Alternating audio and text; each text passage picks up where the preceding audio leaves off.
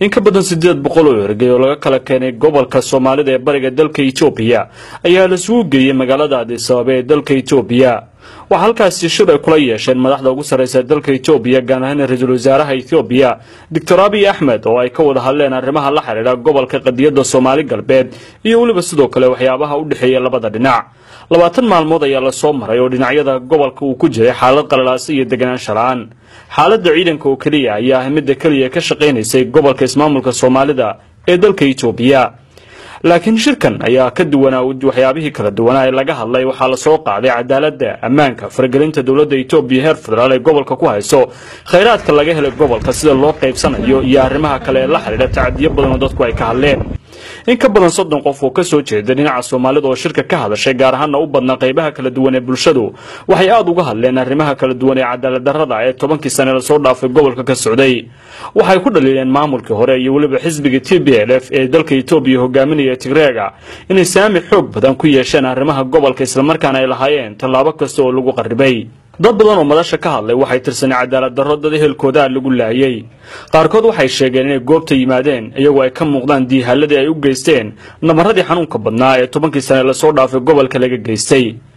Madaxweynaha ismaamulka soomaalida ee dhowaan xilka la wareegi doona mustafe cumar ayaa goobta ka hadlay.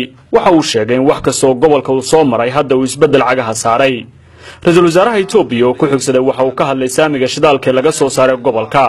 Waxa uu sheegay inaan waxba laga kaban doonin ilaa soomaalidu ay yeelato go'aanka ugu dambeeya iyo talada. Arrinta shidaalka ee khayraadka dabiiciga ee laga helay dalka. Waxa uu sheegay in suudaan iyo nigeria oo waddamada afrika ay wadaagaan uu dhibaato badan u geystay soo saaridda khayraadka dabiiciga ee shidaalku ugu horreeyo. Waxa uu sheegay etoobiya inaysan dhibaatadaasi la doonayn laakiin ay xoogga saarayaan. Sida soomaalidu ay u yeelan lahayd go'aanka ugu dambeeya ee talada waxa uu sheegay in hadalkii uu ka jeediyey dalka maraykanka ee boqolkiiba shan saamiga uu ahaa mid si kale loo fasiray waxaana uu sheegay in la siinayo boqolkiiba shan. Dadka deegaanka hoose ee laga soo saarayo shidaalka ee waxyeelada xagga cimilada ay soo gaarayso. Waxaa shirka dhammaadkiisii laysku afgartay in tacadiyadii gobolka ka dhacay inay ka dambeeyeen xisbiga t b l f ee talada dalka etoobiya hayay toddobiyo labaatankii sane ee la soo dhaafay.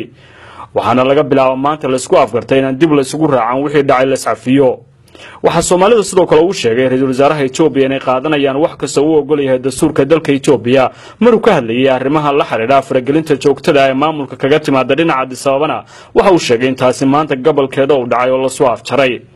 Waxa uu sheegay in xaaladda gobolka ee hadda uu ku jiro xukunka deg dega laga qaaday.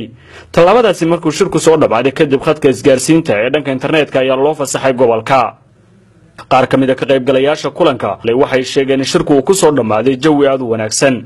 Dad badan oo hadlayna waxay sheegeen inay doonayaan in cadaaladda wax laga qabto. Waxa uu sheegay madaxweynaha cusub ee gobolka mustafe maxamuud cumar cagtar waxa uu sheegay in cadaalad darro marna uusan cidna ka yeeli doonin. Mustafe cagtar waxa uu si toosa u sheegay oo ugu caddeeyey ra'iisul wasaaraha etoobiya inuusan ka aqbali doonin tallaabo ka dhan ah gobolka oo lagu samaynayo dadkiisa taas oo sacab badan uu goobta kaga helay